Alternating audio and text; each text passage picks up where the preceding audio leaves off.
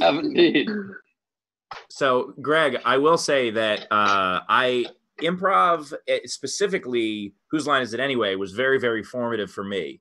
Um, the way my career kind of all started was I was a, you know, I was a kid uh, in high school getting bullied a great deal, and I would watch, and I would watch. I know, surprise, and uh, I would. We've all I been would there, brother.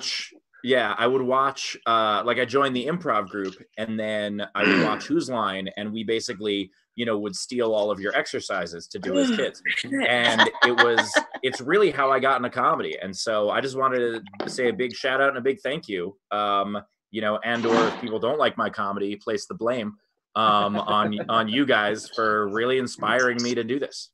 That's So- so beautiful, you- Steve. Thank you. So you were you were getting bullied. When I, when it's I just, first it's just, saw it's just improv, improv with monsters. right? Right. It's improv with horns and antlers and weird helmets. Um, Yes. I, I- I went to college and uh, and this is in the 30s and um, uh, never seen improv. I've done stand up, but I'd never seen improv before. And I went to see it at the cantina at the dormitory that I lived in. And I saw it and I went, I can do this. So the next week they did audience spot and I they asked for a member of the audience and I sat in the front row because I was 19 and I jumped right up and gone on stage with them and we did a improv. And the next day they asked me to join and that's how I joined. So I think your story is beautiful and I think it's whenever we you know we used to tour and when we did um, people would say this to us all over the country uh, uh, uh, i was in high school i was in college whatever and and they saw whose line and it made them feel like they could live they didn't have to fit into a box they could live their life and and i think that's the power uh, of the communication that happens i think it- which is the best part of comedy uh, connecting Absolutely. And, you know, and I will say that there's nothing to me better than good improv. To me, good improv is magical. really And it's How- so rare, but there's nothing worse than bad improv. no no question. Bad improv is horrific to me. Do you have Well, also, let me just, let me just clarify Steve has never had sex. I- That's actually why I got divorced. That's exactly what happened. to be fair ben uh, uh, in his species the female eats your head off afterward so Yeah, that is true.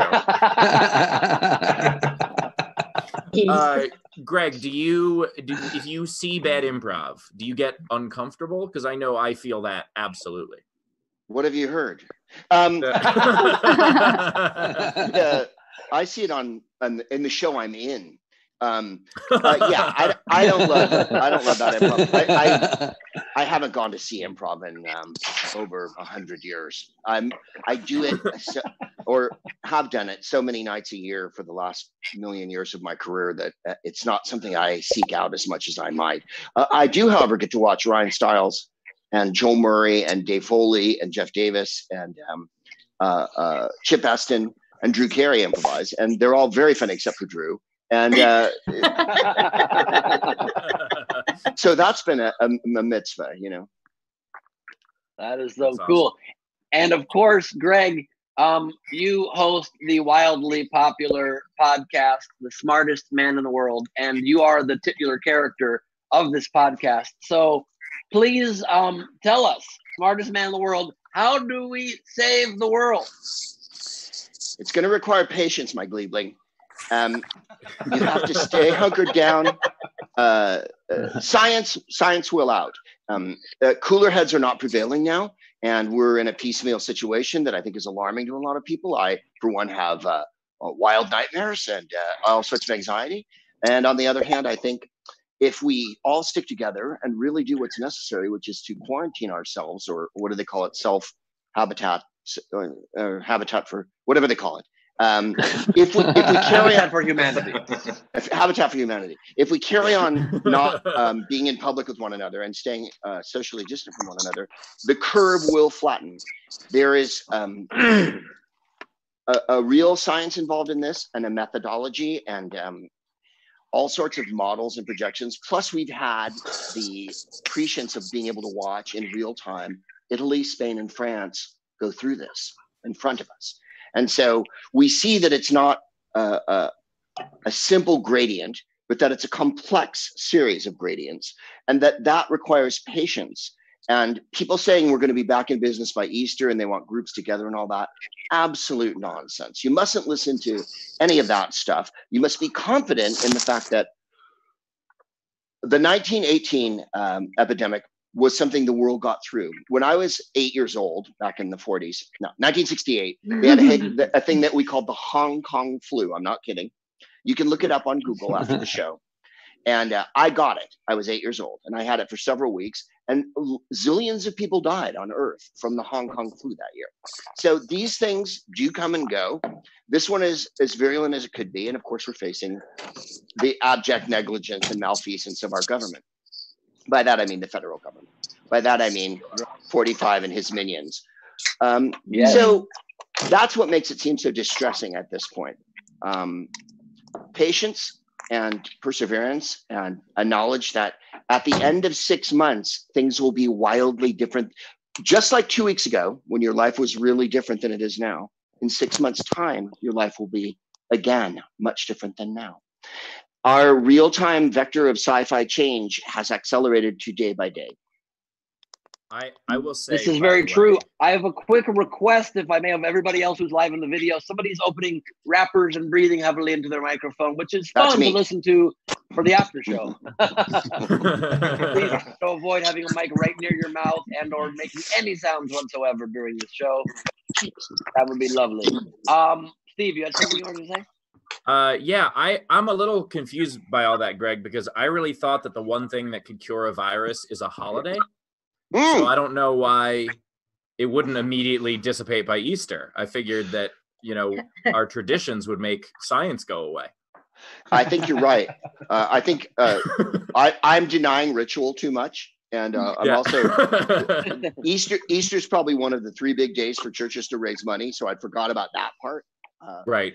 no, uh, I would. I would be a Christian if I could. I really would. Um, if they would dress better. Yeah. always look like By the way, have to dance. point out have to point out that Greg has has out jacketed Bowers 100% on this episode. So Bowers, Bowers, lean in so we can see how sparkly it is for a second, Bowers, because yeah, I, I love it. There's some sparkle. There's yeah, some yeah. sparkle to it, but you can't really see it on camera. So this is a pretty cool now, one. Now, does that sparkle shoot. come with the jacket, or is that because of how many times you've worn that to a strip club? Uh, well, kind of both, right? It started kind of sparkly and it gets more sparkly as you go. For sure. Yeah, yeah exactly. It's a good observation. Uh, Rachel, also, by the way, do we? Just... Oh, sorry. Go ahead, Ben. Please. I was just going to say that you know it's nice to use the time off. Let, us always take the lead as we should from our Floridian counterparts. I've been going to the beach doing kind of like a like a Frankie and Johnny from Justin to Kelly beach party a lot of nights, kind of doing a lot of this and just hanging out with yeah. people closely. and it's a great way to meet new people, get to know them up close, breathe on each other. It's how you know you're alive. Yeah. By the way, Rob Rob Ryan, uh, who was on who was on the show uh, last week, Rob posted an amazing video. He's in New York City right now. It's kind of the epicenter of this, and he posted an amazing video where he is leaning out his window because at 7 p.m. a bunch of New Yorkers decided to come out and like applaud all the healthcare staff, which is like a very touching gesture. Except they were doing it all next to each other, like it was no. a fucking parade. He's Rob is leaning out. You can see this on Rob's Instagram. Rob is leaning out his window, just yelling, "Go home! This is sweet, but go home. What are your homes?" Well, at least, at least they, they didn't do the initial idea, which was cough on a healthcare worker which yeah. I thought was going to be yeah. sweet. Shows how, how much you care. Uh. Before we introduce our first uh, live stand-up performance, uh, we want to go to the comments real quick. Again, as always, uh, you know you could you could Venmo top right of your screen, you could PayPal Laugh from Home, or you could super chat if you want to get your comment uh, to to stand out. But uh, Rachel, what do we got so far? We have a lot of love for Greg. Um, we have uh, Revel said he would join the Church of Proops. I am we an ordained a, minister, by the way. There we go. How about that? Um, we have a comment from Facebook, Paul Miles. He said, Welcome to the Whose Quarantine Is It Anyway? Where pants don't matter because the days are all the same. And we Nicely did have a super done. chat yes. from Adam Meisenheimer come in for $5 and said, Our high school theater kids all love Whose line also. Excellent. Well, Uh, we appreciate you guys, uh, by the way, and we should uh, we should just in case um, our you know our uh, I, I don't know. Did we introduce the game yet, Bowers? Not yet. We have not. We have Yeah. not. We have not. So before before our first live performance, uh, as always, we have our five dollar game. So Bowers, take it away. All right. So, what is something that your parents uh, told you when you were a kid that you believe that you now know is bullshit? That's the uh, that's today's game. So, five dollars get you in the contest. You win uh, all of the hosts' albums. That's uh, twelve albums. Uh, if you are the one we pick. So, thing that you believe as a child, we know Santa Claus, Easter Bunny, all that. What's the thing that like was the dumbest one they convinced you of? Uh, That's the question. mine, by the way, was that they loved each other. Uh, I, I and, and also anyone can play. Uh, you just can't get the prize unless you throw in the five bucks. But anyone can play. Put your best answers in the comments, uh, and we will be reading some of those off at the end of the episode, so we can play throughout the episode. Um, and I want to throw something else into the prize. Um, in addition to all the albums, we'll also throw an on-screen ticket for you to join us as part of our on-screen audience in the future. Uh, so uh, the winner gets both of those things. Um, that said, uh, Bowers, are you introducing the first comic?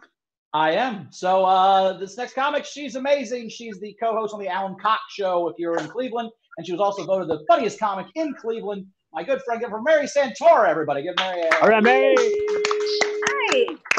Hey guys. Uh, first of all, I just want to give a thousand points to Greg for his Elton John outfit. He absolutely nailed it. So I um I actually have had a pretty good quarantine. I just celebrated one year of sobriety, which is pretty exciting for me. So I'm very excited. Thank you. Thank you. Yes. I am so bored. It is unbelievable. Um,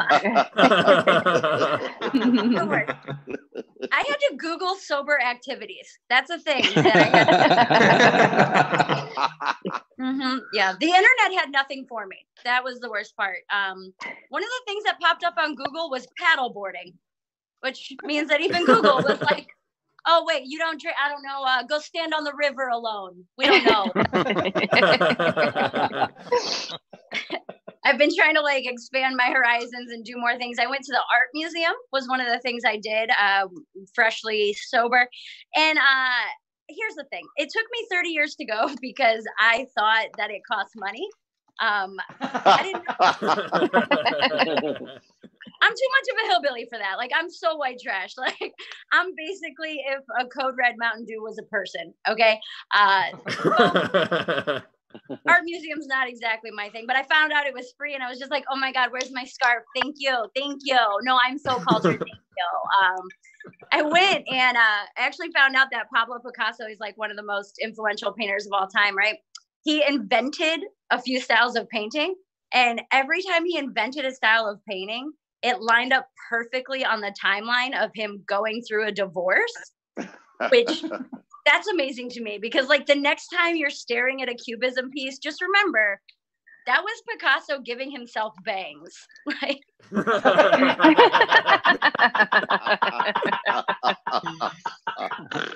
just, i wish i handled the breakup is what i'm saying. Like that's i to handle breakups good. I should just dive in and become an amazing artist. No you know what i did my last breakup? I gained 35 pounds uh, and then i dyed my hair late for court red you know the color. It's the same color if, if, uh, if a girl in front of you in line at the BMV who has literally none of the right papers. Like, same girl. Like, Ma'am, this is an electric bill. Like, can you just match your flip flops next time? Like, that would be great. Thank you. I did that, and I saw a picture of myself from that point in my life pop up on Facebook memories, which fuck Facebook memories. Those should not be a thing. They just it comes up and it's like, hey, remember this time in your life three years ago when you were in the deepest, darkest depression? you guys might want to see a picture of that. Yeah, how's that look? Four likes. Yeah. Good. But your aunt commented, "Be blessed, sweet niece." So it's really, it's a really good thing. I took a uh, a screenshot of the picture and I sent it to my sisters, and I was like, "Hey guys, nobody wanted to say one goddamn word to me. Like nobody, nobody thought that maybe this was a giant cry for help." And uh, my sisters, I swear to God, they told me they were like, "Well, you told us you were living your best life, so we thought you were living my best." You know what that was? That was Wendy's four for fours and White Claw. That's all that that was. you know, if you're not familiar with White Claw, basically it's alcoholic soda water. So basically, the food and beverage industry found out that women were chasing their Xanax with LaCroix, and they were like, "We can do that. We can do that."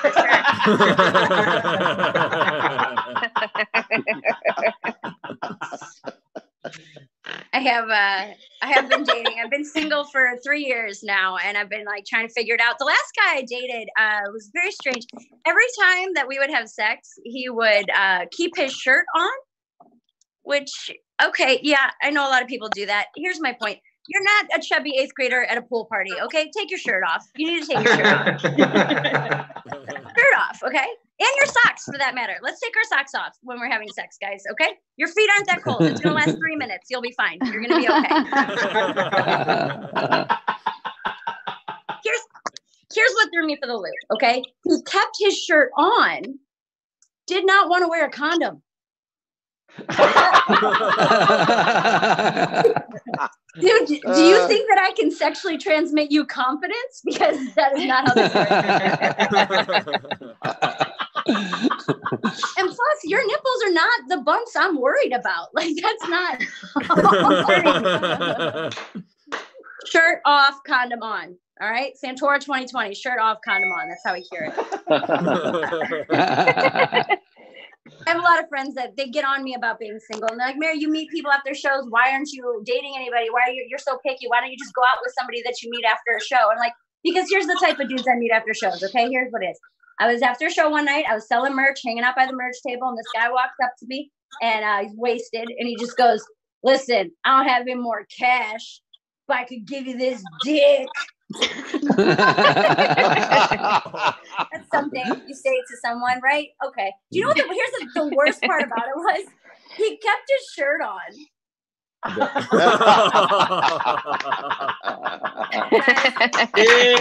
Santora. Mary Santora. By the way, yes. Mary Santora putting the sober in soboard. Uh, we appre- we appreciate you. That was an awesome set. The tip jar is open uh, for the audience watching at home. Uh, The Picasso- You're at home. Oh, go ahead, Greg. Pica- Picasso cut his bangs. Unbelievable. Oh Unbelievable. yeah. Thank you, thank you. There's um there's like a whole act out I'm working on to that Yeah. to the second half of that joke of like his friend coming over and finding him and he's in like a craze like cubism. I don't know. It's coming together, but that's the show. well, the, Love the it. tip very, jar, very funny. the tip jar is open. Uh, if you guys want to uh, throw in a couple of bucks for Mary, uh, you know, go ahead. Uh, Venmo, top right of the screen, PayPal, Laugh from Home, or you can super chat on the YouTube. I know we have a couple that have already come in. Uh, people very much enjoyed the set, but keep throwing Oh, it in. Just make sure to specify it's for Mary so we can get it to her. Uh, sorry, Thank does you. let me just understand? say, let me just say, I partially feel terrible now that Bowers opened the show with your one year anniversary of being sober with his rant about all the beers he's been drinking. Oh, I always get that. Same time, let me just say, I actually think it works pretty well as an encouragement for staying sober, seeing anything Bowers says and does. Oh, absolutely. Hundred percent. I've Yeah, gone Mary, out if you didn't- that man many times. Believe me. Mary, if you didn't if you didn't quit when you did, you could be wearing that coat right now. Do you So- want? What's actually That's- funny is that is my coat. That's why it's so small on him.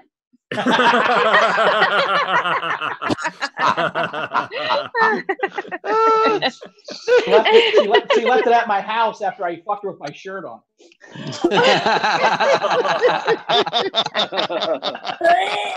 she was like, "Hey, you're gonna need." He's. She was like, "You're gonna need one more layer." Uh,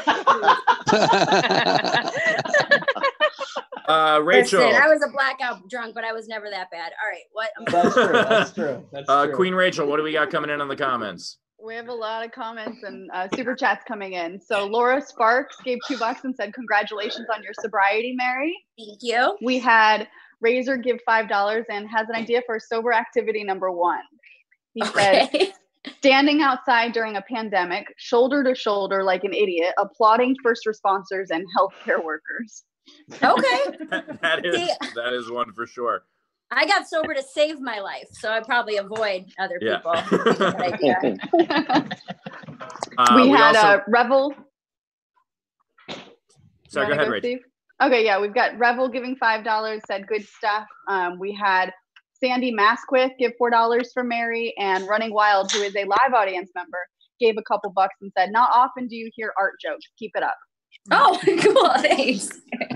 So, So you should will- take special pride, Mary, that Greg Proops, improv genius, stand-up genius, saw your set and said brilliant. And when he saw Chris Bowers perform his stand-up, he said to him, maybe try improv.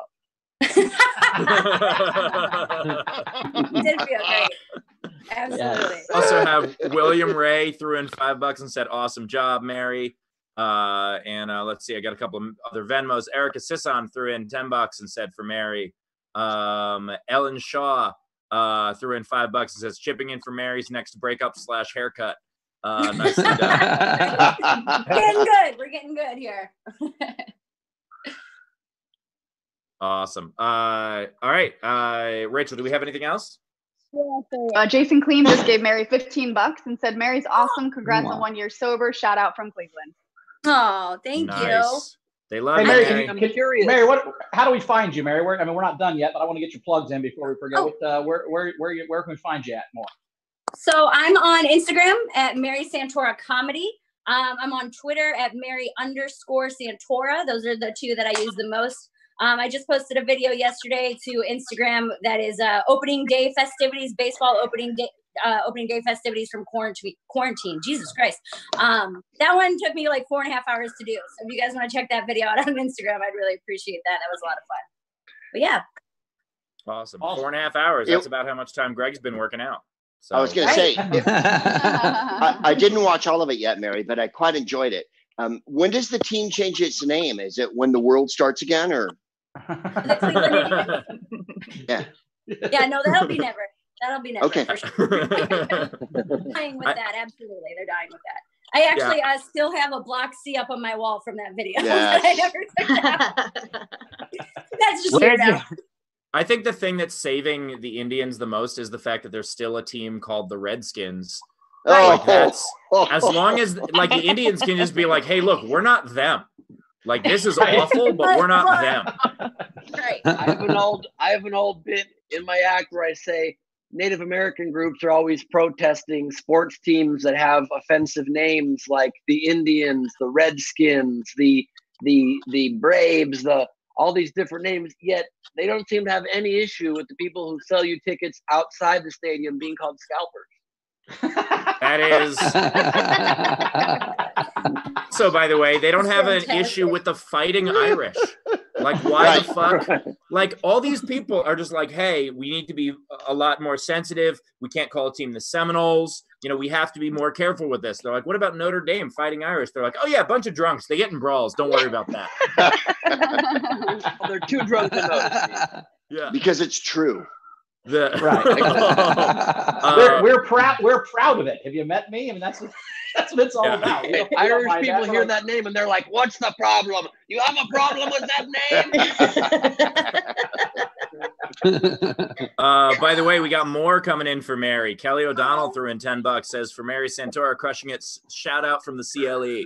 Uh, and uh, Maria Zarolis uh, puts in two bucks, says because Mary's purdy. Uh, JT Durbin uh, threw in 20 bucks, and said congrats on the sobriety. Uh. Mary Finnerty, uh, Mary Finnerty, Finnerty, God damn it, Mary Finnerty uh, threw in five bucks and says killing it, Mar. And by the way, for all the people that are uh, congratulating Mary on her year of sobriety um, and throwing in money, I just want to point out that I have 16 years. So if you want to multiply what you're paying her 16 times, I really think that I've earned that. Uh, Yeah, but- yeah, but nobody see, cares. Mar- Mary ear- earned her sobriety. You drank three extra beers in college and quit 16 years ago. It's not the Yeah. same thing. Mary woke up. And, Mary woke Oh, up in some ditches. Mary did some shit where she fucking earned it. All right. Oh yeah. no, I, I, Bowers, I- Bowers, all that Mary- happened was drunk you came to me in a vision, and I was like, I got to stop this immediately. yeah, yeah. well, I mean, if we're supporting people who are coming over the hump from difficult times, I'd like to reiterate that I have no sense of smell, and I have to hire having to hire homeless people to smell things for me. Do you know what that's like? Creating jobs. That's good for you, man. That's right. Yeah. Thank you. Am I? I have a question. yeah, Um, Yes. Am I allowed to play the game? Can I throw in an answer for the game? Oh, absolutely. yes, I don't I don't know if you're eligible for the prize, but go for it. I don't need the prize.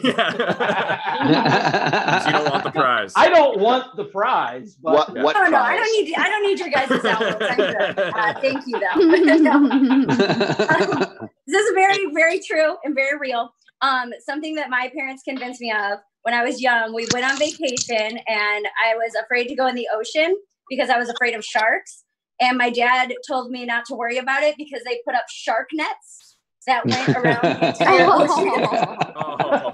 keep the sharks at a distance so that I wouldn't be safe, which is fine and that's cool to tell kids, but they never told me it wasn't real until I was like on vacation three years ago with a bunch of my friends, and I was like, "Oh, I hope uh, they have the shark nets out," and they're like, "What the fuck are you talking about?" Absolutely, one hundred percent true. Druck, Brett Druck Wow. has a phenomenal bit about how when he was young, someone told him the clap was called the clap because it was uh, back in the olden times, people would clap to cover up the screaming, and that's why it was called that. Until he was at a party, and uh, and he said that to someone, and someone's like, "Clapping doesn't cover up screaming." And just he had to go through his head of like what he thought was happening, where they're just shrieking and just clapping the entire. It's a wonderful bit. Uh, anyway, Mary, you got a couple more coming in on the Venmo. Holy shit, the crowd loved you. Thank Uh, you. This might be a this might be a record. Uh, Sounds so Matt way. McGuire threw in ten bucks. Said Mary slayed. Uh, Dana Degenhart threw in uh, ten bucks. Says thanks, Mary. Uh, congrats and sucks to be you, Steve. It does not suck to be me. I'm very happy for her. The one year is adorable. Uh, yeah, Ca- uh, Casey Lashy, uh, Morrissey uh, threw in 10 bucks, says, Great job representing Cleveland. You were great. Uh, oh, Jane Stewart just threw in 16 cents and says it's for me. Thanks, Jane. That was that was the best. I think that one might have been one of the best ways I've ever been burnt with 16 cents. After after like fees, that'll be zero. Like they'll take a transaction fee.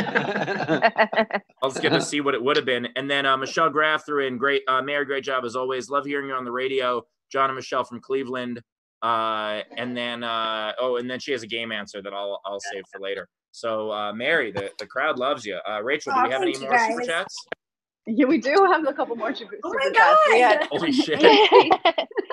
this is going to be a record.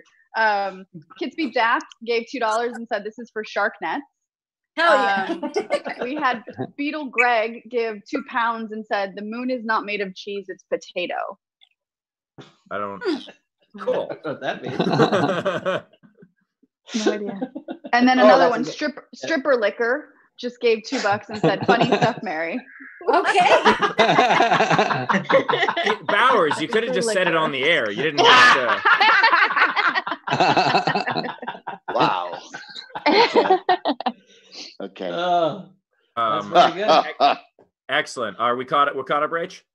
We've got some general ones if you want me to go into those, or we can go to the Uh, next yeah, we'll comment. do we'll do a couple general ones real quick, and then we'll introduce our next comic. Okay, Sandy Masquith gave uh, ten dollars and said, "Here you go, Steve. Congrats." Um, Oh, thank we you. had uh, Gabriel Mag give two dollars and said she's normally Gleib Squad, but tonight she's a Proops fangirl. Oh, nice. nice. Love that. That's what I'm talking about. We have Mario Miser from yesterday's winner give five dollars, and he it was in reference to the game, but not a game submission. He just said parents, more li- like more than one parent. Uh, yeah, actually, by the way, it's a weird it's a weird thing that like the uh the more parents you have, the more fucked up your life was. I think that there's a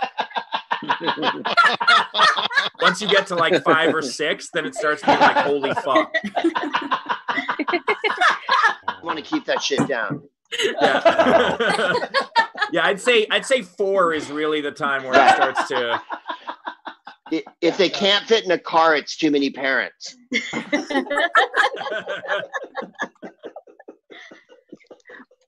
We have uh, more for Mary coming in. People really want to set this record. Oh man, Uh, This is amazing. We had thank Brian you guys. Campos give two dollars and said, "Great Mary." Ron Gold five dollars. This is tire money for Mary. Great set as usual. Jason Clean gave another ten dollars and said, "Let's set the record." Nice. And uh, e- Ehor Balaban gave five bucks and says for Mary, but also to hear someone try to pronounce my name. Uh, we we live in California. We've heard we've heard non-English names before. Uh, also, Ashley Allen just threw in uh, twenty bucks. and Said part of the Gleib Squad. And I do want to uh, just say for those Hello, for those of Ashley. you who Hello, hello, are for those of you who are donating money uh, t- toward my sobriety, it was a joke. I don't keep any of the money. Don't worry about it. I appreciate the support, but I'm I'm okay. Uh, I'm uh, I actually have uh, even more avocado pits than Greg. I've been hoarding. them. So and then uh, uh, uh, Jennifer uh, Kofed after uh, this 16 cents gave me another two dollars and said for burn cream. So much appreciated. Jeff Wells with another two bucks for Mary. This is insanity. By the way, Mary, I don't know if you've been counting all this, but total is about fifteen dollars now. Uh, feels like it feels, feels like a slot machine paying off. It's like Hell a slot yeah. machine going ding ding ding ding. It's pretty yeah, awesome. this is So, nuts. Um, excellent. All right, with that, uh, let's ready? go. Uh, let's go to our next comedian. Ah, our next comedian, uh, another great friend of mine. Uh, you've seen him on Comedy Central. He has a master's in psychology. He's from Chicago. Yeah, for Leo Flowers, everybody. Give Leo a hand. Yeah, Leo. What's going on, everybody? Uh, Steve, you were talking about clapping earlier. It just reminded me of my uh, uh, fourth grade teacher. I went to a Catholic school, and she didn't let us clap in the classroom. She said it was too loud. We could only pinky clap like this, which God. to me is way more condescending after you give a speech uh, in class. and like, I just imagine like if after sex, some girl was like, "Hey, hey, how was it?" And you, like it was just a horrible uh, kind of thing. Uh, I just turned 44, guys. I just turned 44 March 18th, uh, which is the day the quarantine started. So that was a great way. Uh, unpacking gifts, I had to pack my shit and uh, find somewhere to go. Um, I uh turning 44. My goal actually is uh, I want to live to be 100. That's that's my goal right there. Uh cuz I want to see how many more seasons of Law and Order SVU. Uh Ow. how long can he keep this going, guys? Like they're so old. Like every time I watch Ice T chase somebody, I'm like that's not good for your knees. Your knees. You need the foam roll first. Because this is at like 44. I understand like it's like 44 is not old. I, I I get that. But like I have to take care of my body differently. Like when I was a kid, I could just play. I played, did get a little old about hitting the gym, about working out. But now that I'm 44, it's like I gotta do my exercises. Like I, I like every morning I gotta like stretch my neck out, stretch my legs out, and like I don't know if you've ever like got arrogant and thought that you didn't have to do your exercises. Uh, but then you reach in the back seat and you're like, oh shit, I should have did my exercise. And I'm realizing these jokes don't work as well without the physicality of them all. it's a huge act out.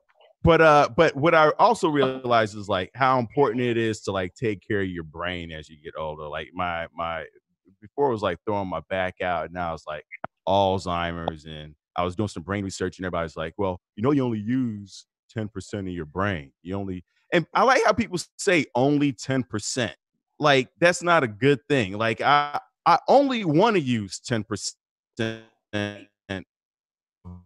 my brain. Think people who've used hundred percent. Uh, yeah, it's it's not it's not a good look using hundred percent of of your brain. I don't want all the dopamine and serotonin rushing out at the same time. As a matter of fact, I don't like using hundred percent of anything. It's like even right now, I'm talking to you with a ten percent voice. If, I, if everybody talked at hundred percent, that would be awful.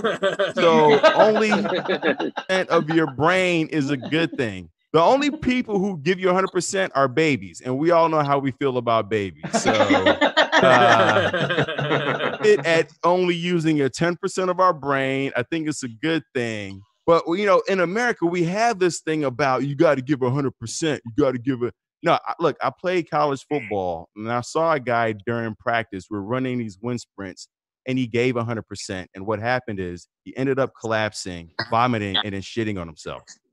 if that's what hundred percent looks like, then I'm gonna. See what I'm saying? The uh, only hundred percent I want is making it to hundred. I do not like when I watch TV. I don't turn it up to hundred percent. And and the worst thing I hate is like if you ever go to Starbucks and you always every now and again you get that barista that wants to fill your cup up to hundred percent. And I'm like, you're an asshole. Like you trying to burn my fingers. Let's keep it at 10%, people. I think that's good. People are are real ridiculous. Um, want to live to be 100. That wasn't always my goal in life. I when I was nine, I remember telling my mom when I turned 40 that I wanted to end my life. Um, looking back, I, I realized like how optimistic I must have been to think that I was going to live to see 40 growing up in Chicago. Uh, it's a very dangerous city. People get tense when I talk about that because they're like, is this guy talking about suicide? Listen, if you think that was the crazy part, the crazy part was when I turned 40, my mom actually called me like, hey, uh, you said you're going to kill yourself? I was like, uh, is this a reminder? Like, you know, but so now like I, I I I like I meditate, I walk, I work out, like I do things to keep my, my brain healthy. And and I had I had a neck injury actually from playing football. I uh, I woke up paralyzed twice, and uh, and there was a moment where I thought about taking my life, and then uh, they mentioned that they were they were making Bad Boys three. So I was like, I can't kill myself now. I have to. Will Smith reunion. Are you kidding me? And and it's a dark subject that you know to talk about but I, I, feel like you know so many people have gone through it i've talked about this at shows and people have come up to me crying and weeping and and i feel like you know a lot of people struggle with being lonely and and and i realize like we we think we're the only ones going through what we're going through and we feel disconnected And and anytime and like i i is i just remember that everybody poops everybody poops. like, like, like the Queen of England poops, Jennifer mm. Aniston poops, everybody. Like, if you ever need to feel connected to humanity, just remember everybody poops. And then they have to wipe. They poop and they wipe, and then sometimes a finger pokes through. So when you when you think somebody is better than you, or you're the only one going through what you are, everybody poops. This is not a big deal. Um, the and the other part of like struggling with mental illness is like sometimes you feel like you're you're a burden to other people and you think the world would be better without you but if, if people didn't like burdens then people wouldn't get married they wouldn't have kids they wouldn't have a mortgage. I think people love burdens. So stay around another thousand years because uh, because burdens are a thing and they've been a thing. They're not going anywhere soon. So let, let let's people. It's uh it's it's a healthy thing. Thank you. That's my time. Leo Flowers. Leo Flowers, everybody. Leo yes, Flowers. By the way, Leo Flowers with the best microphone of any of our guests so far and the worst internet. Uh, internet possible. Oh, was yeah, it you're, cutting you're, in and out? Your internet was. was like, hey, I like that 10% suggestion. I'm gonna work uh. on that. Uh, oh. We heard um, all the we jokes. Did, just a little bit did, of a max headroom here. Uh, little, yeah. I, yeah. It was fine. We did, by the way, uh, we did uh, already get a bunch of tips. Um, but for those of you who have not yet, if you want to uh, throw in, uh, the tip jar is open for Leo Flowers. Um, at the very least, we need to upgrade his internet. So whatever that costs, if you want to throw that in there. Uh, top right of the screen is our Venmo, and you could also PayPal uh, at Last from Home, or you could just throw it in the super chat. I'm going to read out a couple real quick here. Ellen Shaw threw in two bucks, says chipping in for Leo's uh, for Leo's two ply. Um, Keela Comer threw in 10 bucks, says vitamin D and zinc for Leo, uh, brain food. That's uh, right. Taylor. Right. Hello, That's Taylor. Right. Yeah, and uh, and uh, oh no, then the others that came in are uh, are generals and for the contest. Uh, Rachel, you got anything? Yeah, we got Um, we've got a comment from Ming Mercy said, Leo, thank you. I needed that right now. It's exactly how I'm feeling um, and have been for the past two years. Thank you so much. Socially distant handshake from Liverpool, UK. There it is. Handshake Nice. back at you. And Thank by you. the way, shout out for being up at 1 a.m. We appreciate you staying up to uh, hang out with Oh. us. shout out to you for knowing shit- it was 1 a.m. Right. Like, who, that's Exactly. I tore way too much. I uh, or I used to anyway.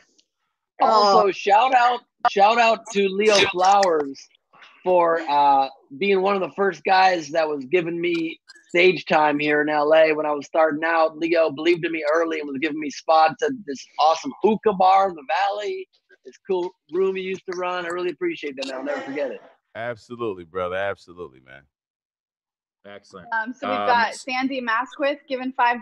She said, I'm 60 and I live on a farm. Come split some wood, youngin'. Oh, yeah. Absolutely. Absolutely. Wow. I like that. we had Kid Speed Das give $2 and said, Here's the Bad Boys 4. Oh, yeah. I can't wait. Are you kidding me? That's going to be amazing. It probably won't be released until like 2050 now because of this whole thing. But, you At, know, at what point do they become bad men? Like, Um, we have Funny and Fearless gave $2 and said, Leo, I was going to give you 20, but here's 10%.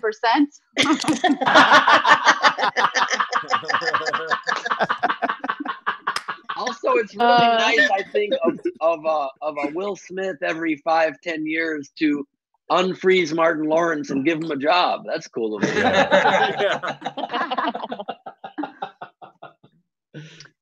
Yeah. we had a couple more. We have Tom the Cat give $5 and said, For Leo, great set. The quarantine is actually raising life expect- expectancy for people in Chicago, if you think about it. Uh, that's so true. Also, by the a way, so great Tom the cat, Tom Yeah, the cat is in so our live great. chat with us, and also uh, Ah. live chat and said, uh, "Happy birthday! Here's an apocalypse." Uh, so- Thanks, So Tom. great. We had Razor give five dollars. Great stuff, Leo. Even without visuals. Um, Revel five dollars and said, "Oh, I think Pinky clapping at hundred percent." So that's what we've got so far. Yeah, excellent. Uh, and we have a couple generals that came in too. Z Bunster, who has been the show's biggest supporter thus far, uh, throw it threw in another uh, another forty bucks. Said uh, can't see the li- uh, can't see the live chat today. Shoot me now, but share this forever. Uh, share this anyway. Uh, so much appreciated, Z. Um, and we've got a bunch of contest entries. I can't wait for the contest. It's going to be a, a whole lot of fun. And a couple, by the way, a couple more have trickled in for Mary as well. Uh, Michael Nero threw in 10 bucks. Says, great job, Mary. Uh, thanks for the laughs. Uh, Beckon Az- uh, Azazel threw in uh, two bucks. Says, Mary got some great stuff. Keep it up. And then also commented, shout out to my two dads and two moms, and the same for my six foster moms and dads. Okay, you know what? I've been proved wrong on that joke. Exceptions to every rule. Uh, fair enough. we- Um, We just, we just wrote a new sitcom called My Ten Parents. I think that that'll Yeah. be on ABC Family coming next this fall. yeah, if ABC Family is still, if TV is still a thing. And uh, Erica Sisson also throws in 10 bucks, says, for the record, Mary, uh, they're, they're still trying to get the record. And uh, Sarah Skozin uh, threw in two bucks, says, heck yes, Mary, uh, you rock uh, CLE. A lot of Cleveland people. And then uh, Shauna Hogan throws in five bucks, just a general one, says, appreciate you all. It's been hard to stay quarantined. You guys made it easier. Uh, well, we also uh, very much appreciate you staying quarantined. Stay the fuck home, everyone. Um, and then uh, and then we also have a, uh, a general one. John uh, John Gideon threw in uh, seven bucks on the PayPal, uh, and I think it's just a general one. So, uh, Rachel, are we caught up? We have some general ones. So Rich Wilson gave 50 bucks and said, Wow. maybe not tonight, but I would love to hear an inspiring, calming speech from President Ben Gleib to fill the void left by 45. No pressure. We should do. You know, we should do. We should do a Love that. special episode on one of the days that we're normally off, where Ben just does what would have been his inauguration speech. Yes, yes, and I might throw in some actual science and some actual advice that might help people in a calm and collected way get through an unprecedented time. Instead of saying there's a cure, we don't know what it is. I made this one up. It might kill you. Take it, flip a coin, go fuck yourself. Essentially. By the way, by the way, we actually have more people watching groups. this live stream uh, than were at Trump's inauguration because that's how numbers. work. Ah. Has a- uh, ben, See, sorry, you had a question for Greg. It'll be the Well, Brooke has a Glevensburg address. Brooks, obviously, were I to have won the election, you would have been in my cabinet. So I do turn to you in this time of need. Tell Thank us, you. do you think people need to be prepping? And what did you do to prep? How much food do you have? How ready are you to be hunkered down for, for, for a good while? I have uh, hundreds of thousands of Slim Jims, both in the uh, the regular category and the spicy category. Uh, that um, uh, tins of soup are reassuring. Um, when we went to the store a couple of weeks ago, all the hot dogs were gone, which freaked me out. Realized, yeah, bought them all. yeah, that, that, that was me, Greg. Sorry, I, I, I stocked up on all hot dogs. I'm not kidding. I have, I have two drawers of hot dogs. That's how I'm getting through this. but am I wrong? Hot dogs are great and are a, a post-apocalyptic treat of the highest order. Mhm. Indeed. Whoever thought lips and assholes would be such a comfort food? Greg, I don't know how. Sorry, I don't Greg. know how. Sorry, I don't know how Greg is going to survive the apocalypse with beef jerky and no teriyaki flavor. I just think that that's Oh, dangerous. I love the teriyaki flavored beef jerky. I mean, you know, uh, we have to stockpile, but uh, uh, rationally. There's no. I, I was reading this article in a magazine, and it had all these people in Alabama, and they had giant Quonset huts full of ammunition and food and whatnot. And it didn't make me reassured. It made me think, oh, you're just as psycho as I thought you were before. I've seen I've seen Uh, people that I've seen people that I know like and they're posting all these pictures of all this food they have and I'm like, dude, you barely have a freezer. What the fuck are you gonna do with that? right. Greg, are you wearing that jacket as an homage of sorts to the Tiger King? Everyone's been talking a lot about him. I haven't watched it. I No. uh, I, I bought this in. We were in uh, uh, Memphis last year, and and I'm Lansky's. uh, yeah, uh, Lansky's did all of Elvis's stuff. It's not only leopard. It's um, also ocelot or some you know tiger. It's just terrible, isn't it? I couldn't resist it and we wore it when we put Memphis. It was so much fun. And uh, Memphis is great, as you know. There's Stax uh, Records there, and there's uh, Sun Records there, and it's just the confluence of everything that's good about America. You know, poverty and racism, uh, uh, soul music, and and and uh, you know, uh, prevalence. It's just Yeah. So I Well, felt pretty also- strong about wearing it on the show because I want that vibe to be the one that we're uh, digging, which is um, that we're going to all come back together again one day, and that these things are possible. New Orleans is possible. Detroit is possible. Uh, uh, Memphis is possible. Nashville's possible. All that. Do you I thought ever, you- Greg, at the end of a long night, do you ever take off the jacket, lay it gingerly on the ground, and then lay upon it wearing nothing but a loincloth? And I'm so glad you asked that personal question. I I take a fishbone of a, a farm raised trout from Taiwan and I ensconce it in my hair and I lay in a shallow ditch that's surrounded by nothing but red velvet cake. And at that moment when I let only the orange moonbeams come down upon it. And having said that, it opens a portal to a pink and perfect world uh, that's filled with promises, uh, whispers from a butterfly, uh, uh, uh, inferences from a snail, and whatnot that assure you that the continuity of life isn't just some sort of weird precept, guaranteed uh, measure of the, our involvement in nature. I think uh, True. I think we just figured out I think we just figured out why Greg likes Memphis. Uh, that was amazing. And also, also, if there's Oh. any better message that you inspired me to remember, Greg, that we will come back and we will survive this. The city of Memphis was evidence of it because that's the town that briefly took Elvis's life until he began a perpetual tour of gas stations around the world, which Yes. is why fossil fuels will never go away. Where else will Elvis eat? You will work at filling stations forever. I have never right. been more Exactly right. confused. Clearly, you don't read Star Magazine, where Elvis appears randomly at gas stations throughout the world, Yes. constantly surviving on beef jerky, Greg's favorite food, and powdered donuts. I, you know what? It's it's my fault. I I don't read the classics. I apologize. I was I was working on a movie last summer, and the, one of the, the they got they locked the car the keys in one of the show cars, and the first AD called one of the PAs and was like, "Hey, did you bring me a Slim Jim? We got keys locked in the car." And the kid brought her a fucking beef stick, and it was the funniest thing I've ever seen.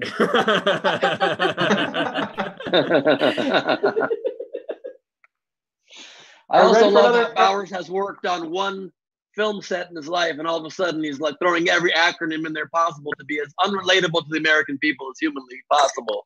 The DP said to the PA, "Can you bring me a couple cans of two WD forties?" Well, and also, by the way, Ben. I mean, that's unfair. He did park cars on that movie set. So it is. and I was hungry, and they brought me a Slim Jim. Listen, it was all it was all a scam. I- I've never even been to a movie set. I just wanted to make a pun. Ben, come on. One time Are I ready? asked for a Slim Jim, and somebody snapped into a skinny guy named James. Am I wrong? Yes. Uh, Rachel, do we have any? Uh, do we have any questions from the live viewers? I, I've seen some stuff coming up on the chat. No, let's see. Um, Uh, well, we'll we'll get to them if you don't have uh, if you don't have something right now. Yeah, we I can don't have it in a handy. second. We've got like 10 super chats come in. Um, God damn, everybody loves Greg. So we had um, Sandy Masquith gave two bucks and said, for meds, I need some of his, me- his meds. Yeah. By the way, his meds are just crushed up beef jerky, so really anyone can. well, then we had Nixon added give $5 and said, just putting something in the hat. But yes, teriyaki is the best flavor of jerky. Yeah. yes. I Um, win. Rhonda Vanlington gave twenty dollars and just said thanks for being you. We had Flight of Two has a question for everybody. Has any co- comedian ever gone out with someone who bought merch after a show and it was a good date? Nope. Define date. One time. Wait. Uh, uh, did they buy a shirt from you and then refuse to take it off? No. I feel like anybody who buys your merch, that's like their. I mean, thank you to everybody who's ever bought merch before. But if that's how you're like trying to ask somebody out, that's about where the conversation usually stops. You know. Am I wrong? Well, if you're, Mary, if you're, an speak for attract- if you're, if you're, an- if you're an attractive woman, sure, of course. But if you're a fucking fat guy in a tuxedo and anybody shows any interest, you're probably in.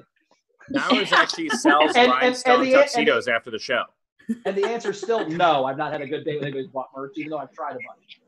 But Bowers had a strict rule that after his shows, even though normally on a date you'd make the girl pay, if she bought any of his merch, he would go 50 50. Yeah. uh, yeah, Bowers, have you had any good dates with anyone who's been willing to buy my merch after the show? Uh, not yet. No, I'm still No? looking forward to that. I've only, I've only been on tour with you once. So, know. All right, we'll work on it. That's not true. You've been on tour with me a couple times. are we ready for uh, our, four, our third comic? Yeah, I think so. Um, and also, by the way, I just had a friend watching this text me and said uh, that she loves Greg as well. Uh, so that is how much Greg is killing right now.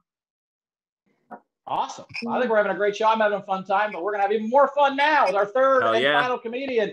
Uh, he- another great friend of mine, very funny comic. You've seen him on Conan. Here for Steve Gillespie. Everybody, give Steve a big hand. Yeah.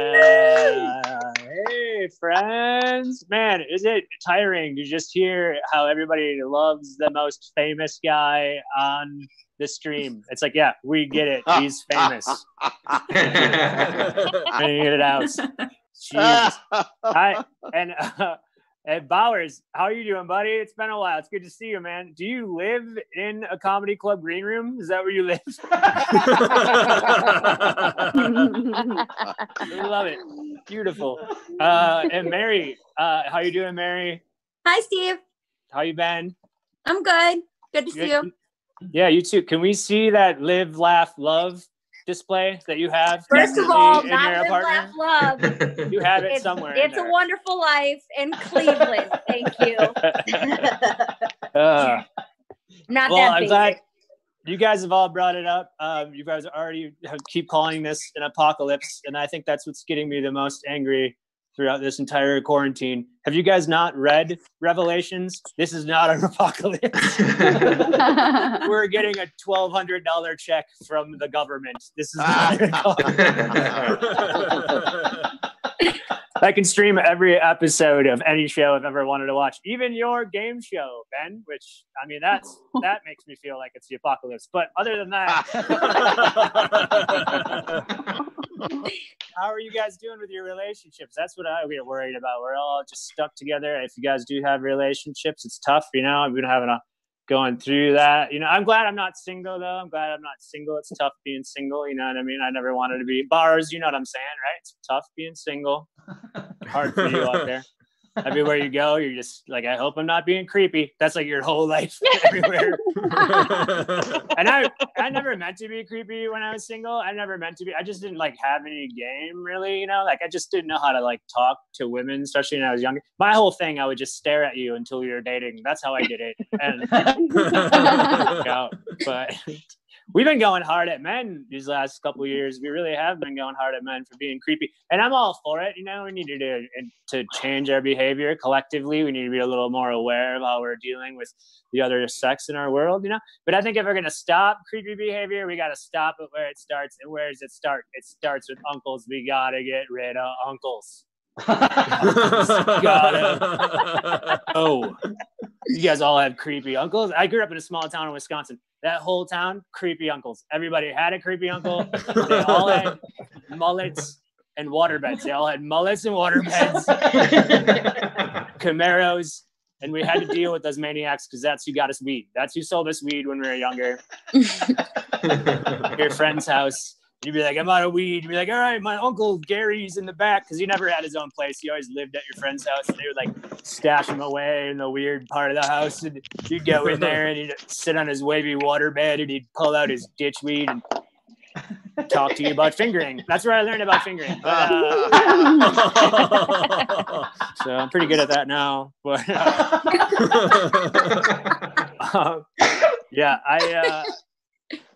Apocalypse uh you know we've been doing okay. I think you really find out about your partner you know now that I've, I've been with my girlfriend uh nonstop for like weeks on end now. And uh it, you really figure each other out. She called me a beta male recently and and that was a surprise because i'd been hiding that from her. Uh, she called me a beta male to my face. She said it to my face which in her defense is where you tell beta males things but he, this is it. This is this is what happened. We we were in bed together, and that's not where this is going. I lay it down thick. I get in there and tear it up. But we we were asleep, and we both woke up to the sound of the shower running in our apartment. The shower is running in our apartment. It's like two in the morning. We're in bed. We're looking at each other. I don't say anything, but I'm looking at her like, you know, like, what are you gonna do about this? You know what I mean? Like, what is your plan?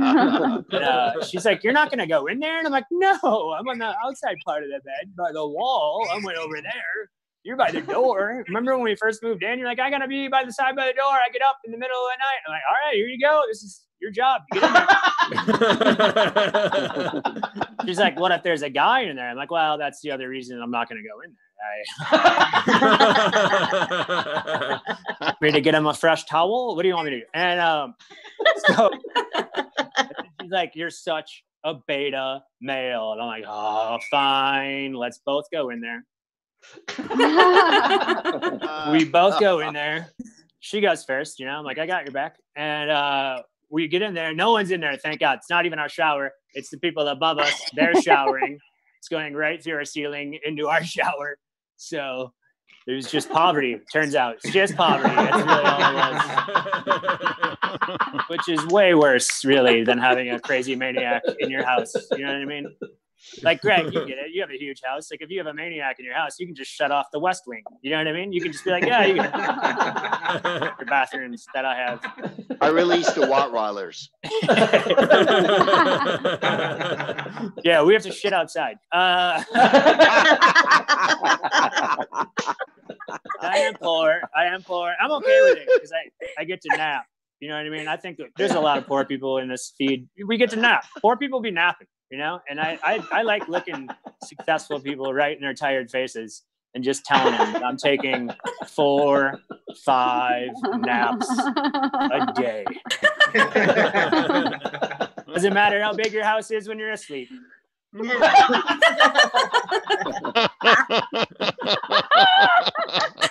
Five minutes? That's what I had prepared. Yeah, that's, We you, good? you did it. Steve All right, Gillespie, let's everybody. everybody. Thank you. A couple things. First of all, I love that Steve wore a hat made out of one of Bowers' jackets. We appreciate that. so uh, I, I I know that you know that uh, Steve did rag on Idiotest a little bit, but I have always said that Idiotest is an apocalypse of fun. So I think it's a wonderful a wonderful show for the end times. Uh, the tip jar is open. Steve. If you guys haven't want to seen throw in, if you, it's actually a great show. It's a lot of fun. Is it good? I don't know. Uh, I'm just giving him shit. yeah, it's it's really it's really good. If only you had time to watch it, poor person during the apocalypse. I love you- that that Steve. I love that Steve was the first comedian to actually work in other people, let alone the host and the comics during his set.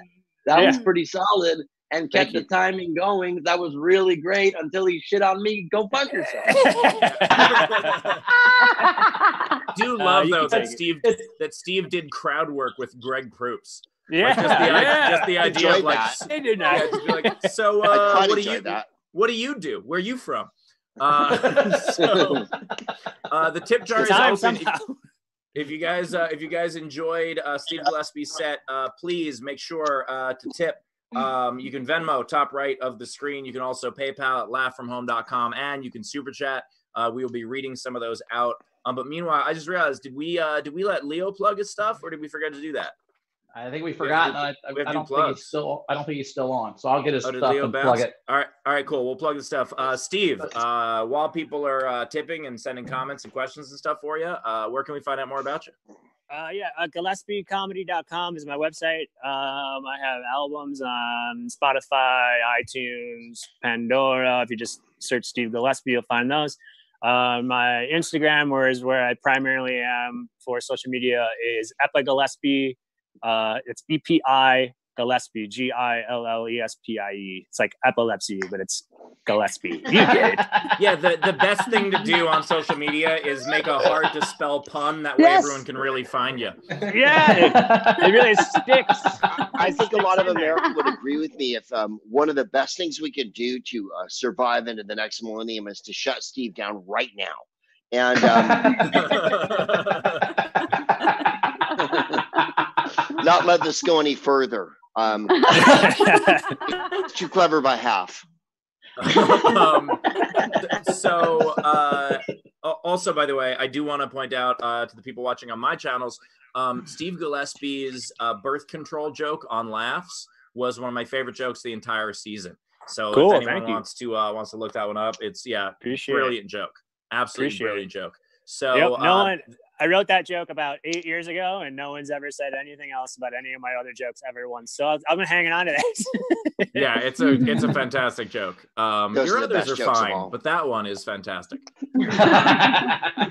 so Question for the Proop Dog who is there. Um, Greg, what are you smoking throughout the show? Is that uh, could it be marijuana?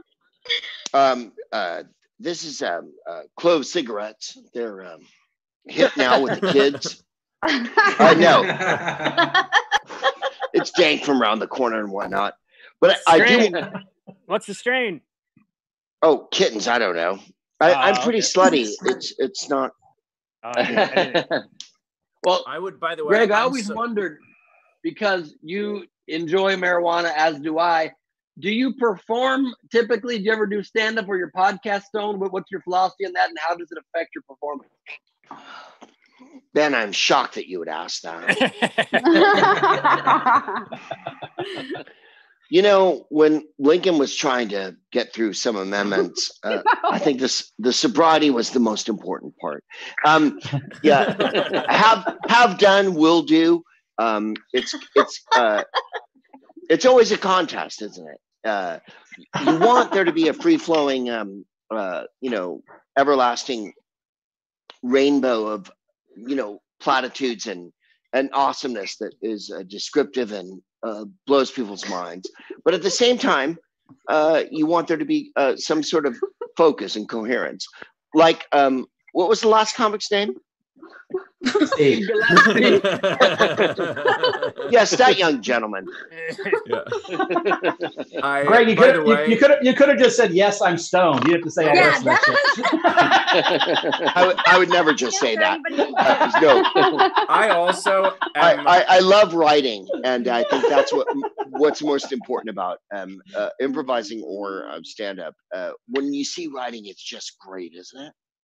Yes, Uh, yeah. indeed. My favorite thing. absolutely. My favorite And thing. by the way, I also want to say that I'm glad to find out uh, that Greg Proops is just getting stoned and not vaping because I think that that would have changed my image of you a lot. I think that that the whole thing where I Old was like, hey, you know, I grew up being inspired by you, and then if you would have been vaping, I'd have been like, oh, well, that's all done. So No, there's no vaping. yeah, excellent. Uh, Rachel, what do we got coming in? Uh, we got a couple on my end. Uh, I could start with. Um, so Jane Stewart threw in five bucks uh, to uh, to Steve and said, uh, "Always appreciate a good fingering origin story." Uh, thanks for the laughs. Next installment in the Marvel universe is going to be the origin of the fingerer. So running out of superheroes. Um, and uh, Ca- Casey Lashley Morrissey threw in five bucks. Says you were great. Thanks for the laughs. Uh, what do you got, Rich? I got Sandy Masquith giving 10 bucks saying, Steve, get a plumber. We have uh, Kids Be Daft, $2. Poor people be napping. nice. Uh, Revel gave $5 and said, I nearly spat out my drink. Awesome stuff. All right. Nice. And uh, Thank we also got cool. another another uh, PayPal from Carla Eichler. Says Wisconsin loves you, Steve G. Yeah. So, and right. look at that. Wisconsin loves you, and she still can't spell your last name. Get a better Instagram handle, Steve. I also love very much Steve's uh, plan to get out of poverty, napping repeatedly throughout the day. Actually, Ben, in this circumstance, that's most of our plans right now. So Right. we're just trying to get to May. Like that's all we're trying to do right now.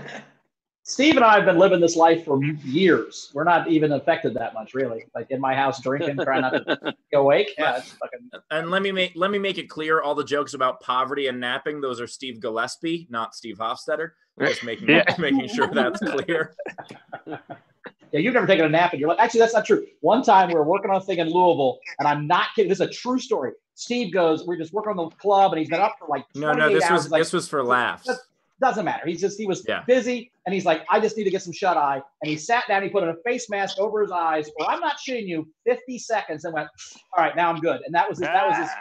nap. It was insane. well, power nap. When you go to sleep, you don't know how long it's for. All right, I just felt refreshed. Wow. That's real. Yeah, A real thing that happened. uh, hundred percent true story. Yeah, couch of the uh, green room of the uh, of the uh, uh, laughing uh, uh, laughing derby. The Derby. Oh, I'm getting the I'm getting the name of the club wrong. Sorry, I was napping. I wasn't paying attention. you Uh, can see exactly what it looked like by looking at Steve Bowers right now.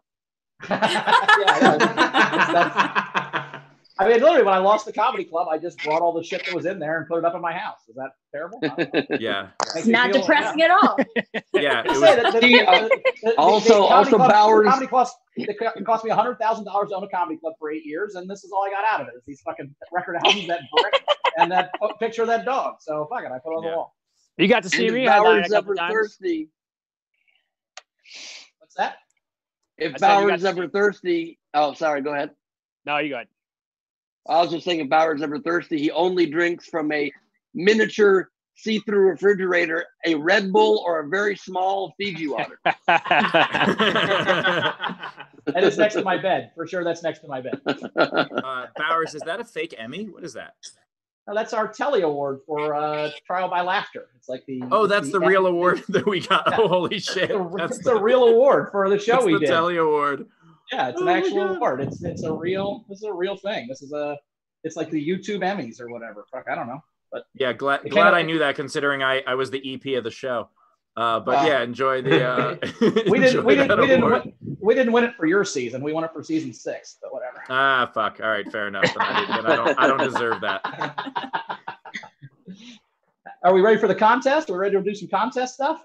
Uh, well, let's catch up on uh, let's catch up on some super chats. We've got some last minute contest entries if you want to. Again, uh, the contest that's been running the whole episode is what did uh, one or both or all seven of your parents tell you uh, when you were growing up that turned out to be bullshit later on in life. Uh, you can enter. Uh, we'll read off some non-contest entries, but you can also, if you throw in five bucks, uh, you can win all of our host albums as well uh, as uh, as getting a ticket to join us on screen. And Rachel, uh, let's not forget about our on-screen folks if they have some questions as well.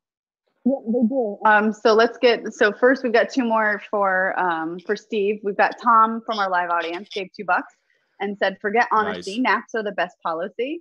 And then Razor gave five bucks and said, "Great set, Steve. I'm sure. Actually, I got distracted by the Carol, Carol Burnett infomercial, so Yeah. but he still tips." Um, and we do have a couple questions. So I think we had Carrie and there was uh somebody else. I think it was I think Bill has one. um, I Bill see. R. Yeah, Bill has one too. So if they want to chime in with their questions, Okay. So Bill, what do you got? Oh, uh, I've been watching your YouTube videos a lot lately, and I was curious if you if you miss having the hecklers or if they were a, a roundabout good way to make the show a little bit more crazy. Uh, I'll answer that in a second. But first, is your background yourself on a plane? Yes, that was uh, somewhere between uh, Japan and Guam. I like the idea that you're just your background is the good old days of a few weeks ago. You're like, hey guys, remember planes? You look like a Russian nesting doll. Yeah. my, my background is going to be Bill in front of his background of Bill. So uh, i- if the, the question is, uh, you know, do I miss hecklers? Absolutely not. First of all, if I ever want to feel like someone is uh, is a, a drunken asshole, I can just look in my Facebook comments. Um, there's plenty there.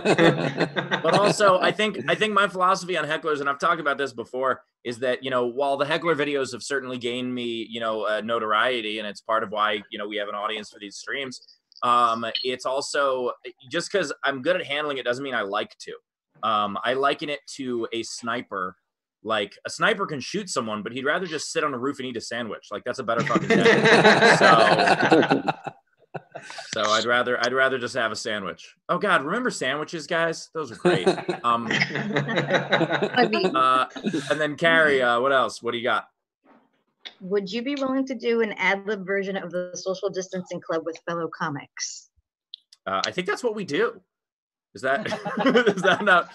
Yeah, it wouldn't it be amazing? I love how, like, no, how you think this is fully scripted. We Well- sit down in a writer's room for a week in advance. no, I think she's referencing. I used to do these shows uh, when I would when I would play clubs that would have like a Sunday show. Um, I would do the Sunday show completely ad lib because the Yeah. idea was that like the the Sunday shows always sucked. And I don't know why clubs would do that. Where they're like, "Hey, you know that late show on Saturday that was sold out? Why don't you end the weekend with 30 people on a Sunday instead?" And so, uh, what I would do is I would give out tickets throughout the week, and I would say, "Hey, thanks for coming." To anyone who would come to another one of the shows, I'd give them a free ticket to the Sunday to come back, and promise the Sunday would be 100% ad lib. So that's I think that's what Carrie is referencing. And uh, you know, maybe I'd maybe I consider doing that. Um, you know, just having uh, having a bunch of people on Zoom. The problem is with crowd work, you have to have enough people. I mean, we can't all just ask Greg Proops for crowd work. Like that's not ju- it just because Steve and, and Gillespie did it, so now I'm a hack if I do it. So, uh, but, I, but I would I would consider it. I'm also thinking about doing uh, the material I have been doing at clubs uh, lately, and just doing a doing a live stream with a with a bunch of people in the Zoom audience. We're, we're still trying to fuck around with the medium, and and you know Ben's gonna give a presidential speech. Uh, we're gonna do all kinds of stuff. So uh, I would gonna- like to point out, however, I am the only one of our three hosts who has thus far, about 12 shows deep, performed stand up on the show. Hofstetter and Bowers, we are waiting on you. Yeah, that would be great. I'm uh, I am building the uh, I'm building the anticipation, and Bowers is being kind. Uh, so you got some? I'm just waiting for the audience to be big enough for it to be worth my time. Yeah. Oh snap. Yeah. Well, Bowers, uh, we we're, we're already at twelve today, and that's bigger than you're used to. So. What? Uh, um. All right. With that, uh, Rachel, have we? Do we need any more to catch up with, or should we do the game? We do. We've got like 12. All right. Cool. We'll catch them up quickly. Okay, so Elijah Wheeler, 10 bucks. Steve, I love what you do. Thanks for all the hard work you do to produce your material. I We've assume that's for got- Gillespie. No, that was for you. Was I'm one. kidding. I'm being self-deprecating. Richard Earl Deary gave $20 and said, Steve, when you come to San Antonio, Texas, I hope to see your show in November. I want to donate $100 to your favorite charity. Holy shit, that's awesome. My favorite charity, by the way, for anyone watching, is the Martin Grant, which is uh, a grant that funds comedians. Right now, we are giving $1,000 away to at least 12 comedians. Uh, I think we're almost at the point where we can fund a 13th or a 14th grant. Um, so if you want to fund that, it's comedygrant.com. Yes. Quite right. W- We had Brian Campos give $5 with a mic drop emoji. Uh, Nice. We had Tubbs the Zombie, $5. And talking to Greg, uh, people killed one whole tiger for that coat to prep for the end of times. We had Revel $2 and said lips and assholes. nice. Uh, Jerry Heichel, five bucks, and said Ben Gleib on the G- Jesse Lee Peterson show was amazing. Everyone should watch. And holy crap, Greg Proops, you are the man. nice. If you want to see somebody called a, a beta by thousands of people in the comment section, read me being called exactly that on the Jesse Lee Peterson show. I turned this guy up on his own talk show. He's a real weirdo, and his fans uh, definitely came at me. We had uh, Jeremy Day, two dollars. Props for Proops. That was hilarious. Um, we had Dun Talk, Dun Talk, give twenty dollars and said, "Hey guys, great show tonight. Question: Who is the Houston Astros of comedy?" uh, Mencia.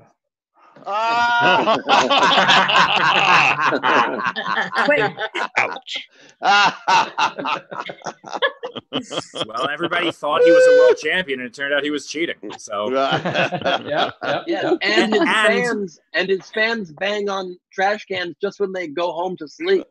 yeah. and Los Angeles fucking hates him. So, uh, we Nally have, we have. Martinez. Oh, sorry. Go ahead. Nally Martinez gave two bucks and said, "Greg, do you have any Slim Jims to spare?" No. We had Ron Gould, 10 bucks, general fund for everybody. Great sets. Pre- Proops is hilarious. Um, Sandy Masquith, five bucks. I loved writing. It's the best part of improv. Greg Proops. And then two more. It's true though. Oh, It's true. No. Why not prepare Oh. something funny? yeah. If you write on the stage, you save a lot of time. You get that free nap time afterwards. Well, and then the last two, Buffalo Skies, five bucks. First time I actually have had a drink while watching this. Used to be a 4 a.m. last call. Buffalo loves you all. And then Adam's channel gave two bucks and just sent a silly emoji. Nice. We also have uh, Maria Zarulis threw in two bucks for Steve Gillespie and said, This hippie's funny. Bravo. Uh, I mean, I'm assuming that's for Steve Gillespie. Uh, Darren Finnerty uh, threw in uh, two bucks and said, Love the apocalypse joke from Steve. Um, uh, oh, wait, that's a contest entry. And then, uh, oh, and then another uh, another 20 bucks uh, came in for Mary. I think, uh, I think, I think if we haven't set the record, we're damn close. That's pretty impressive. We definitely set Um, the record. I'm Thanks, trying guys. to build anticipation, Ben, and get them. We to don't know if her. we set the record definitely. This is this could go anywhere. We have no idea. We set the record like 40 minutes ago, but that's I mean, I'm not sure We we even even know know- what the record is. we have no idea what the fucking record is. I'll have to look in the records to find the damn record, but the point is trying to make it, you know, end the show with it. But you know, thanks for that. Um so yeah, by the way, this is all scripted. Uh this whole thing. Uh, so that said, do we want to do some contest entries here? Um, and by the way, if any, uh, do any of our uh, comedians or guests who have not participated in the contest yet uh, want to throw in uh, what they they heard from their parents that was total bullshit. I've got two real quick. One is, uh, and this wasn't my parents, it was my uncle told his kids at the ice cream truck was the music truck and didn't tell them there was ice cream in it. So when the music truck, they would all sit on the curb and sing the songs to the music Oh. truck. And they turned like 15. I was like, you know, there's ice cream in there, right? They're like, what?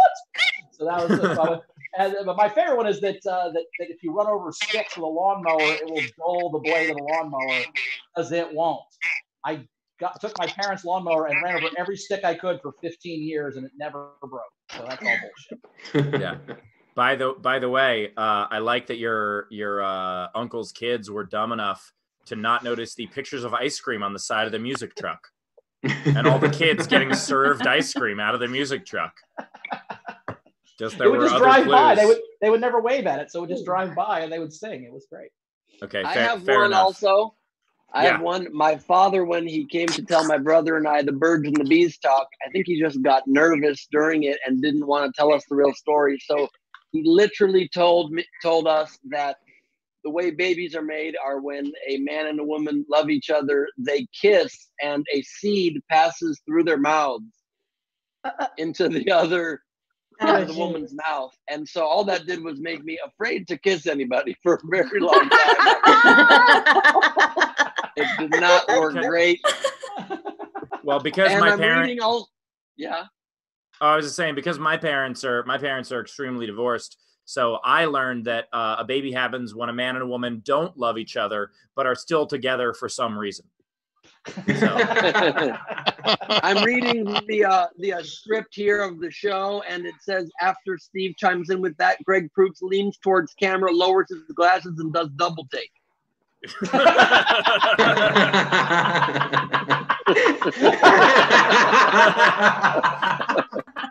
On cue, my friend. Well done. Nicely done. They did Uh,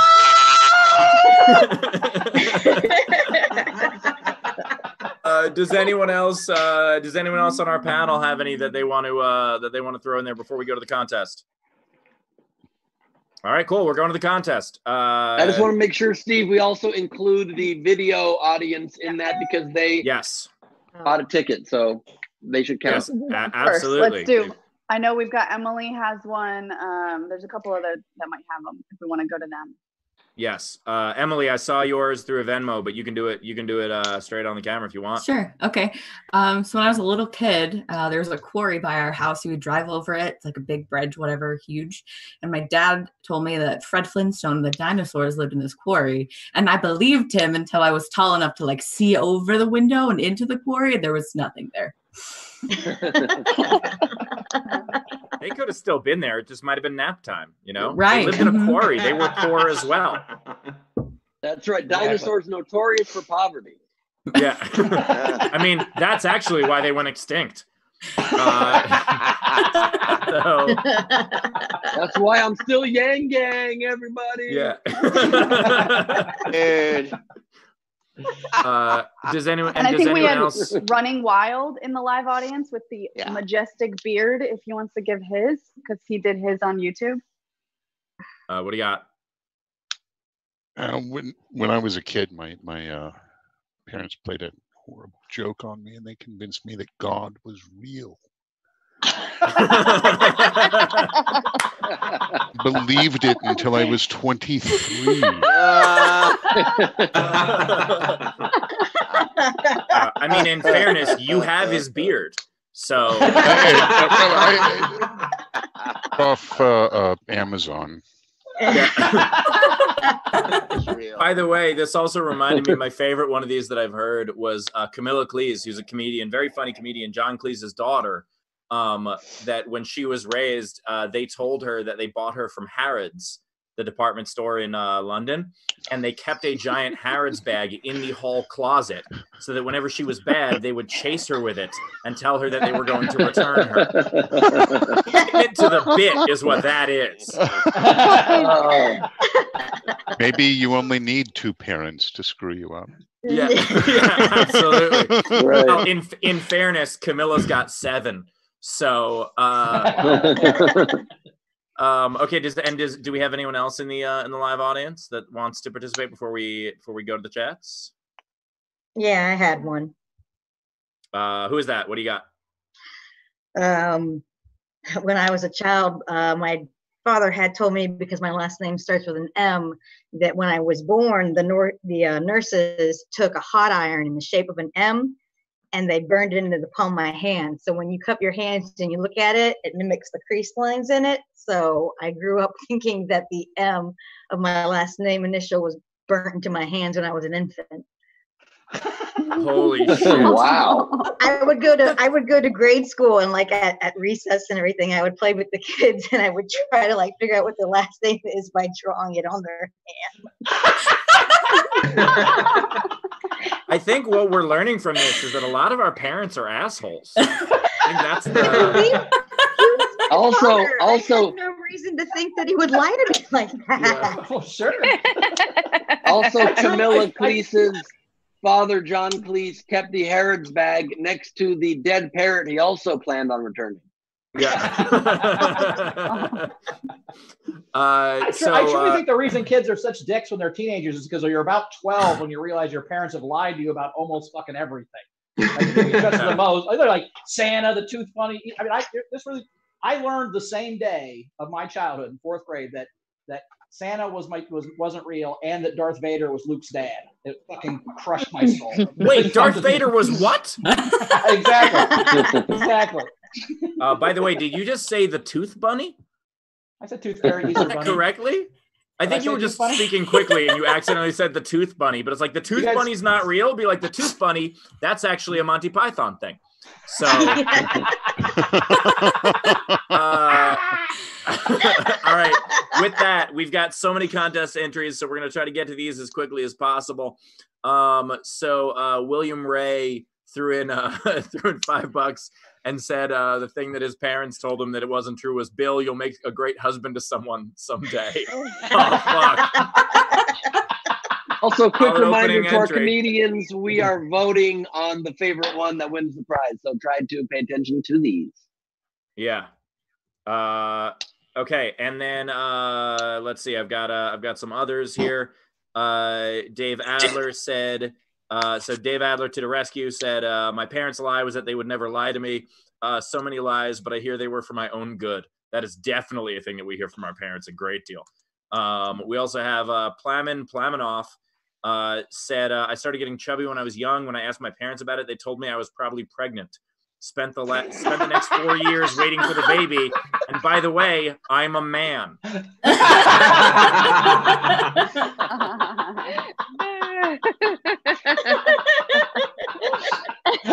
That's what a bunch of dicks.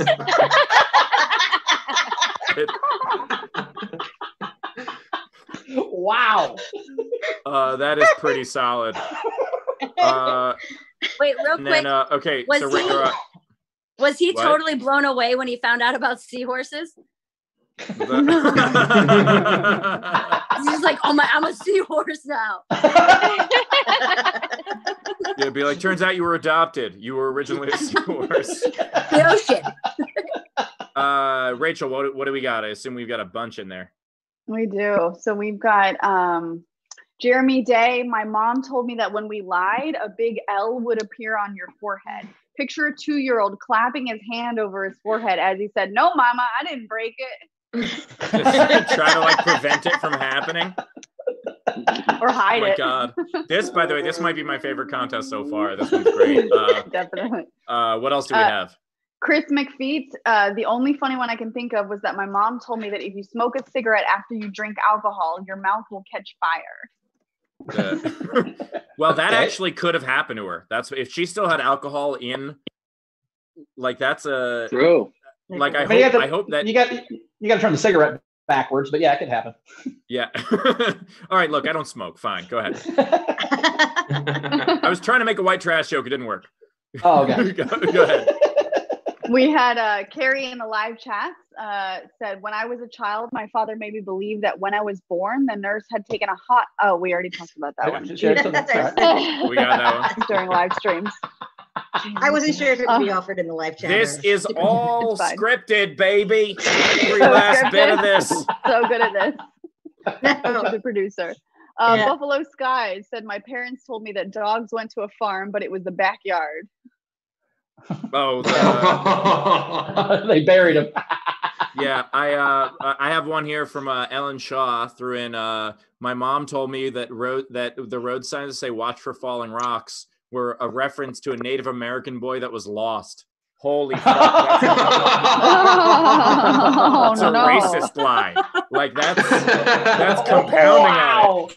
That's a wow. That's a solid one. We had Jose Loera uh, said, My parents told me someone would love me and I would be happy. Oh shit, that's a really sad one. Oh, we, We love you. We can't don't like ensure that you're happy, but we love you. We had Sandy Masquith said, My parents told me the government is there to help you. Oh, that is definitely a lie. Yeah. Uh, two more. Chris McFeet said, My mom told me that I belched so loud that I put holes in the ceiling, and that's why we had chandeliers. Oh my god. I thought he was gonna say, and that's why we had holes in the ceiling. I was like, that's another poverty one for Steve Gillespie right there. and last one we had is from Tom the Cat. So, Tom in our live audience has one if he wants to do it on camera. What do you got, Tom? Uh, well, it kind of relates to the current situation. Um, it wasn't my mom, but my grandmother told me not to talk to people I met on the internet. And now here we are. In fairness, you haven't met any of us really, so it's totally okay. Well, I've met you, Steve. yeah, that, oh, have you been to a show? Yeah, I went to your Bridgeport show last summer. Oh, nice. Well, thank you. I, thank yeah, you I came to your us. I came to your table and was like, "Yeah, the first video I saw yours was your heckler owned for 17 minutes, the drunk Ashley lady." Oh shit, that's a that's Yeah, a classically that was me. awful one. Uh, Yeah. Nice. Well, Tom, thanks for thanks for joining us again. We appreciate it, and also as that you are a cat, we appreciate that you're not offended by Greg's jacket. So thank you very much about it. Uh, so uh, Kim Woo also threw in uh, twenty bucks. Said uh, another great time tonight. Um, and uh, and Raymond Kleem uh, threw in another twenty bucks for Mary and said uh, no one's on her level. Good luck, Mary. Uh, I thought it was going to say uh, 20 bucks for Mary since no one else tipped her. Uh, so holy shit, that's amazing. It's it's always good when you know for sure that the co- that Mary has made more tonight than Bowers has ever made as a stand-up comic. uh, all right, we got to vote. We got to vote on the winners. Hell of a contest. So many great ones. I know which There one I'm one, one, more, Steve. Sorry. Oh, we got a last minute one. All right, what do we well, got? so yeah, Amin Salah said every time we were driving close to Coney Island, my dad would spray window fluid and tell us a rainstorm was coming, so we couldn't go or we would die. oh fuck. Oh, that is some Disney World is closed shit. That is like. By the way, there's probably a lot of families that were gonna go to Disney World until a week ago, and their parents had to actually tell them it was closed. Mm. That was a real. That's a real thing. All right, so we have so many good ones. Um, hopefully, comedians, have you been paying attention to them? Uh, Mary, since you're the tip winner tonight, what's your vote? Um, I vote for the pregnant boy.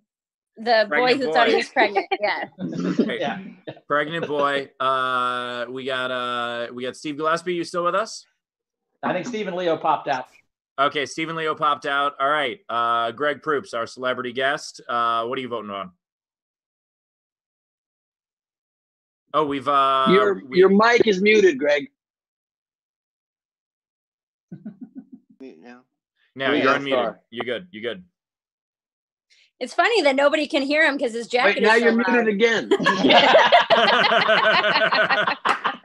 muted again, Greg. You're muted. You gotta hit it again.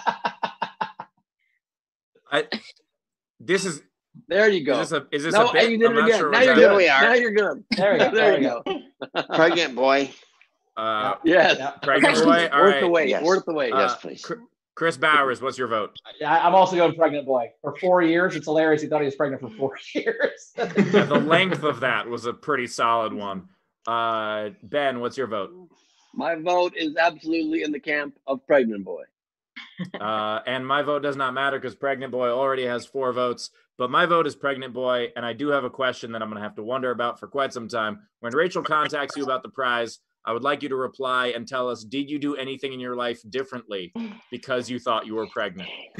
so, as like a five-year-old boy, were you just like, "Oh man, I'm gonna have to take off work for a couple of weeks. I'm going to the bathroom all the time." He didn't drink at all through the whole time. Stop smoking Yeah, cigarettes. exactly. Yeah, stop drinking, stop taking heroin. It's really important this For boy three months. all right. Yeah. Prenatal. yeah. Uh, well, thank you everyone who participated uh, in that game. That was a ton of fun. I think my, my favorite game of the uh, of these live streams so far. The live streams, our viewership goes up every time. Uh, the super chats and the Venmos go up every time. Uh, people are really getting into this, and we really appreciate it. Um, so uh, so with that, uh, we've already done plugs for our comedians. Uh, Greg Proops. Uh, if the folks want to listen to your podcast, they want to they want to uh, follow your stuff. Where do they go? GregProops.com and uh, uh, GProopDog on Instagram. Excellent. Uh, Chris Bowers. Uh, first of all, real quick, uh, Leo Leo Flowers Instagram is Leo Flowers two thousand. Um, and then mine's at Bowers Comedy on all your social media stuff. Chris Bowers on Facebook, and my album Unpopular Opinions uh, was up for pre-sale last Friday on Amazon and iTunes. Please buy that pre-sale. Thank you. Excellent. Ben Gleib. I would like to quickly correct me if I'm wrong correcting you, Greg, but I actually just checked and your Instagram is just Proop Dog, not G Proop Dog. Oh, I love you for that, Gleib. You're very welcome. I had a feeling I wanted to double check my work there. Um, also, uh, please just check out my hour special that originally was on Showtime, now on YouTube for free. It's called Neurotic Gangster. Please follow me on YouTube as well at YouTube slash B Gleib. My followers on there have raised a solid, I think, 18 followers since we've been doing this show. So I'm really getting a good chunk of Steve's fan base converted, and I'm very excited about it and and uh, subscribe to my podcast last week on earth my guest this week is ida rodriguez um, other than that i want to let you guys know even though i don't know what platform you're watching this show on but we have thousands and thousands of people tuning into every episode across all the different platforms popping in and out. So thank you for the outpouring of support. And i have a guest announcement that even my co-hosts don't know. I wanted to surprise you guys with it on air. Not only do we have ida rodriguez tomorrow from netflix's they ready but we're off Monday and Tuesday. Our celebrity guest will be Nikki Glazer. Everybody, Holy shit. nice. Awesome. Nice Nice work, work, Ben. Mr. Gleib. Yes, love it. very Yeah. excited. Excellent. And uh, and I will say uh, before we wrap this up, first of all, obviously, uh, you know, if you en- enjoyed us on whatever platform, whether it's Twitch or Facebook uh, or YouTube, we appreciate you tuning in. Um, and you know, I said it before, I will say it again. Um, my my inspirations when it came to doing improv, uh, whose line? It was Colin, it was Ryan, and it was Greg.